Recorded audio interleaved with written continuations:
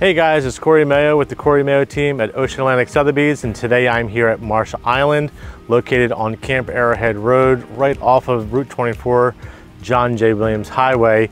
Uh, I want to take you on a tour through this Cassidy. This is a spec home located on home site 92.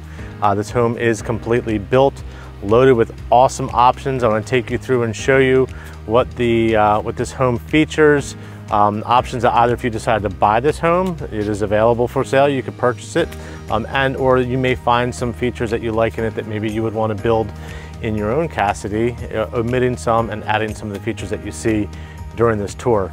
But let's go set off here and see everything that there is going on at this Cassidy here in Marsh Island.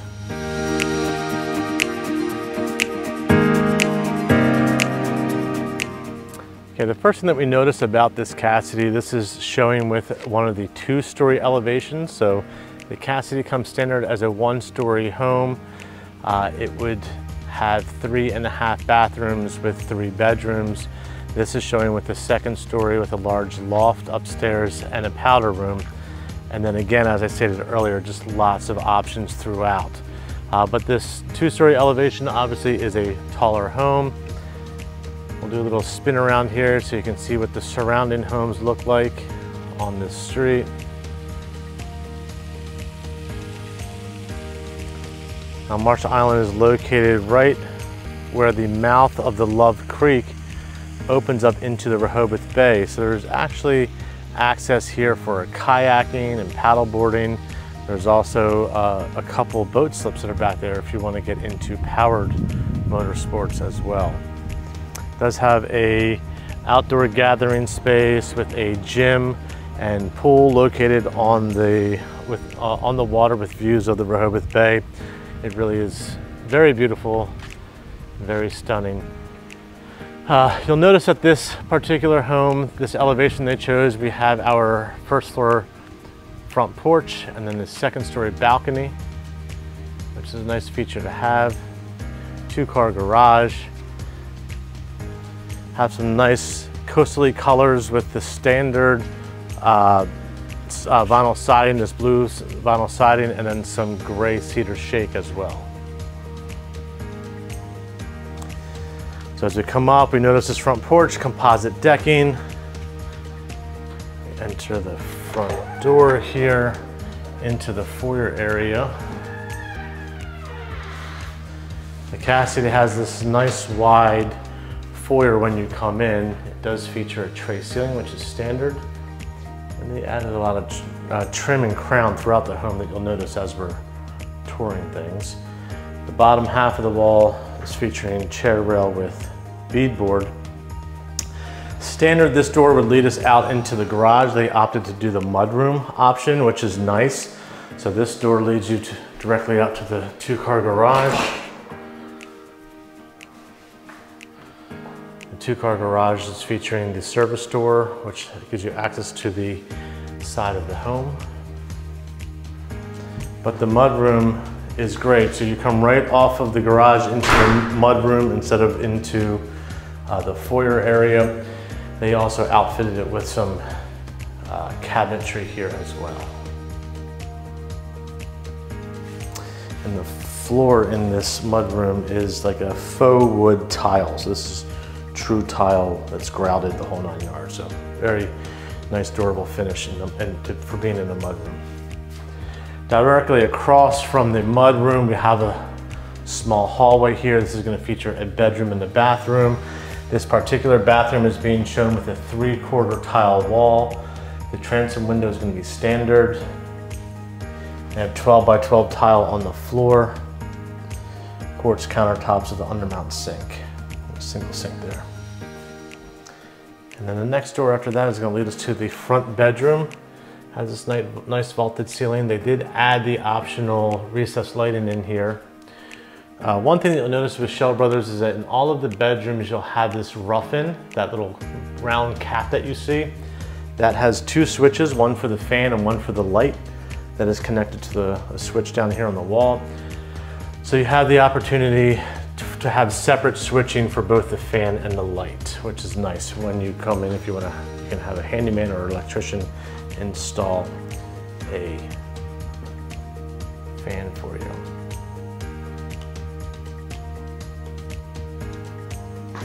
Something else you'll notice when we go to the light switch, there is a red dot on this left switch. That is going to correspond with this outlet over here that also has the red dot. That is a switched outlet, so that gives you the ability for a, a night, top, a night side lamp to have it switched for when you come into the room. So out into the hall and then into the foyer area, we'll make a right continuing through to the room. Directly to the right is going to be an office that they opted to do the office as opposed to a bedroom. So we have these uh, French uh, glass doors here leading into the flex room slash office. They opted to include a full wall of cabinetry in here as well. Similar color, uh, maybe the exact color to what we saw over in the mudroom.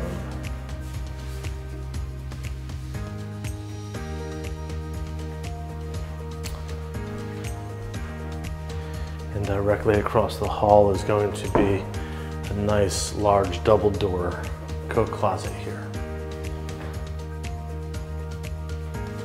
Now for flooring in the bedroom, we had carpet in that upgraded, or in that front bedroom.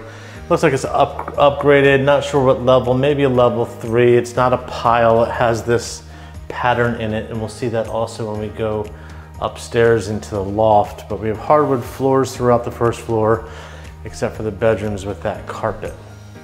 And then obviously tile in that front bonus room, or in that front mud room. Come into the main living space here, off to the right is going to be our great room. They did opt to do the uh, cathedral ceilings in here, the vaulted ceiling in here. There's also, you see the two speakers that are installed in here as well. So there's audio installed in this room, along with that in-ceiling rough-in for ceiling fan. Again, dual switch, so that'll be for light and for the fan. This does have a two foot side extension with an inset fireplace, meaning that they pushed this whole wall back two feet and then brought just the fireplace and chimney in two feet. And then they filled the side space in with optional cabinetry. And then as you can see, they lit it up with lighting as well. It's very, very stunning.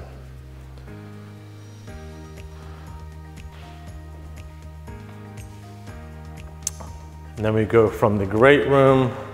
On the other side of the room is going to be our Chef's Series kitchen. So Schell Brothers has four series, four series of kitchens. They have their base level kitchen, their gourmet, their professional, and then the top series is going to be their chef series. So you're going to have, like you see here, a Sub-Zero refrigerator that was selected. We have a Wolf range, a full cabinetry style hood. So instead of just a, a uh, metal or stainless steel hood, this is a cabinet matching style hood. They opted for the pot filler here above the, above the stove, and then this nice stone subway tile backsplash as well. We have a built-in in-wall uh, in-wall microwave. And because the Wolf range is not a cooktop, it's a true range, you actually get some additional cabinetry with this as well. This also is featuring the command center, so this really large piece of uh, stone here in the center of the kitchen. You have seating around the left side and this side here for stools and which is really nice. Porcelain front mount sink as well. And then, not sure what series dishwasher a GE monogram dishwasher. And they opted for the beverage fridge as well. So really this house, you know, I hope I get everything. This house really has had a ton of options added, added to it. So hopefully I get everything in this tour. This is going to be our eat-in dining area here overlooking the hardscape patio. The recessed lights, they added Now you'll notice the round rough-in here that we've been seeing in, in the other rooms. Um, this is a switched rough-in, but is gonna be a single switch, so only for a light. It is not a light and fan like what we found in the bedrooms and the main great room. Off of, off of the dining space, they have a bar that they opted for with the matching countertops, you know, uh, lit up cabinetry as well. The door just off of the kitchen and dining space leads us down a short hall. Here we have a secondary closet that can be used as a coat closet or it could be used as a linen closet. One thing I forgot I want to show you is this pantry. One thing that's cool about the Cassidy, it's got this really nice big pantry you come in and then even wraps around the corner, goes back even farther. So lots of pantry space in the Cassidy.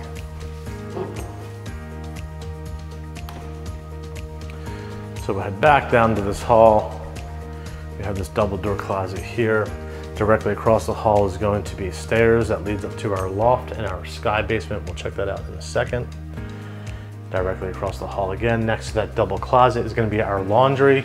This does include front mount washer and dryer, which you can see are also situated on top of the pedestals and full cabinetry in this laundry. I mean, this is a serious laundry room with a sink, lower cabinetry as well, and beautiful quartz countertops in here. All soft closed doors and drawers. And it's really nice, this is not linoleum, this is a tile floor, so this is a full tile and grout floor. Next we have a half bath.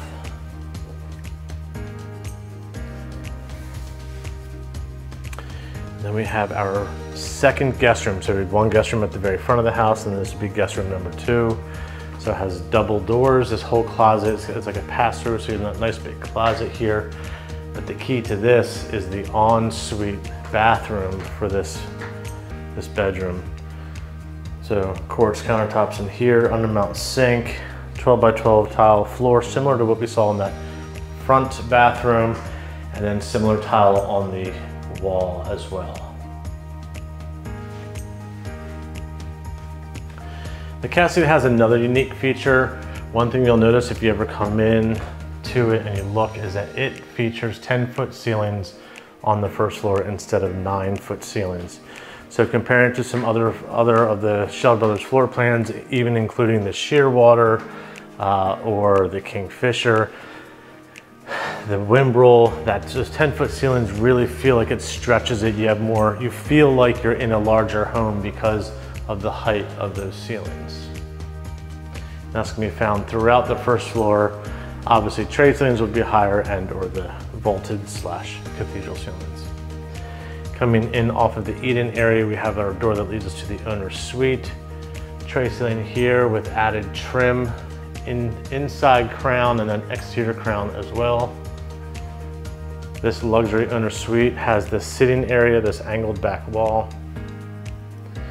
Does look like this has been pre-wired. I'm not sure if this pre-wiring is for power blinds or for uh, sensors for the, an alarm system. It looks like it's probably going to be, since it's up top, for uh, power blinds, which is great to have that pre-wire in there already.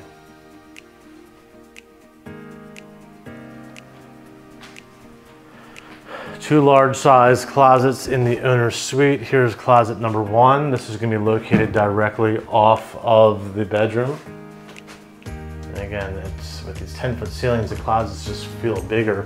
And if you did an organizer in here, the nice thing is it allows you to have 10 feet and you may need a step stool to get to it, but 10 feet of custom uh, closet organizers, which gives you that much more storage. Headed into the owner's bathroom, we have continue on with the uh, quartz countertops in here with the undermount sinks like we have seen throughout. But then we have this really big closet in here. So it's really hard to do this justice in a video, I think, but really nice size. closet here. This looks like it's probably a 12 by 24 tile floor. They did the soaker tub. This is a much more modern style versus those garden tubs you used to see. And then a full tile shower, full, I mean 10 feet again, floor to ceiling all the way up. You have your transom window. You have an additional wand with separate valving for that. A nice mosaic insert, double niche there, and then our bench as well. And then two by two, two by two tile floor. And this ever so desirable frameless shower doors.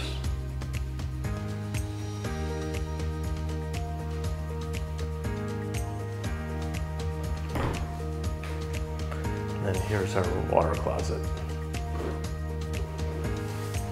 Heading back out into the owner's bedroom. We'll make a right, heading back out into the main living space.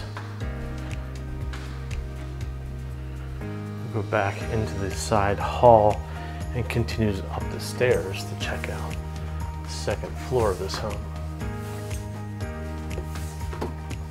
So standard on the Cassidy, you would still have this finished staircase. It would be exactly as what we're seeing here now. Uh, and then the wall would just stop. You would continue through to this door to what is called uh, the sky basement. This is just an unfinished space that is above the garage. So this is a standard unfinished space in the Cassidy, which I believe it, you do not have the ability to finish off. This is always going to be unfinished space. The nice thing is you don't have to worry about pull down stairs. It is truly walking up a finished staircase, which is hidden in the home versus being located right at the front when you walk in.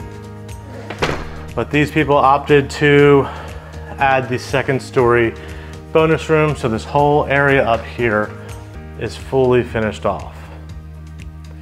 The great thing about the Cassidy when you do it like this with that vaulted ceiling is that if you have a TV up here, which they have pre-wired here, you can watch TV here and you can watch TV down in the living room, which would be on the other side of this wall, and then you have your vaulted ceiling with insulation all between that both TVs going at the same time without having to worry about competing sounds. When you have an open loft to where it overlooks directly into that great room, it's really hard to have two TVs going. You know, the sound uh, can be, is very competing with one another. And then we have another half bath up here with a tile floor. And then directly off of the bonus room, we have our second story balcony overlooking the pond.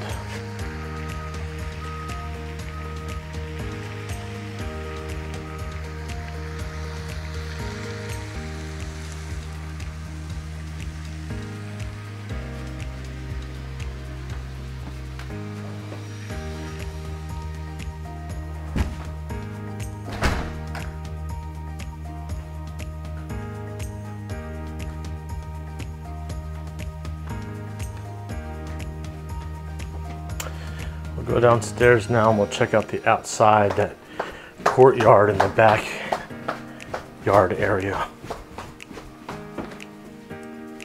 Back into the main living space, directly off of the Eden is going to be the sliding glass door that would take you out to the multi-tiered hardscape patio.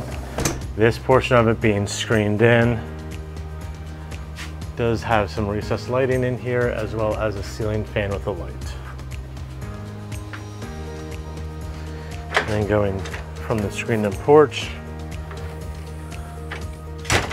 we have another large, I'm gonna say upper because there is a stair, stair here, but it's not real huge, but we have this upper portion here, and then one step that goes down to the lower area with the fireplace.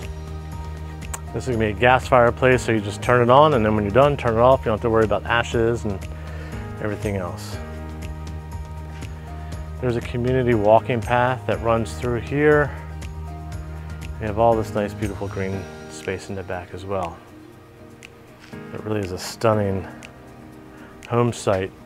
They also included this granite countertop with this built-in grill as well. So it's gonna be piped into the home so you don't have to worry about trips to the hardware store for propane if you run out.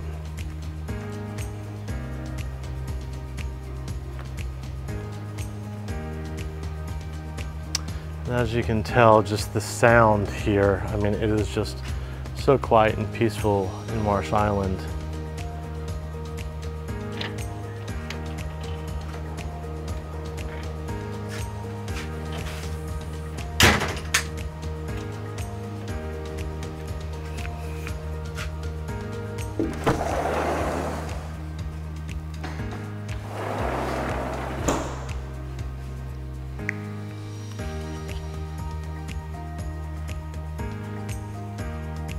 All right, so there you have it. That's our tour on the Cassidy located here in Marsh Island on lot 92. The price on this home, exactly the way that it sits, is $1,040,832. So if you have interest in this Cassidy, please feel free, to give me a call or, or shoot me off an email. And or if you have questions about features that you saw in this Cassidy that maybe you're thinking about building the Cassidy in a different community and you're wondering how this may apply to what it is that you're doing, you can feel to reach out to me as well. Again, my name is Cory with the Cory Mayo team at Ocean Atlantic Sotheby's. You can feel free to reach out to me at 302-466-5511. You can also email me at Cory, C-O-R-Y, at coastallifede as in Delaware.com.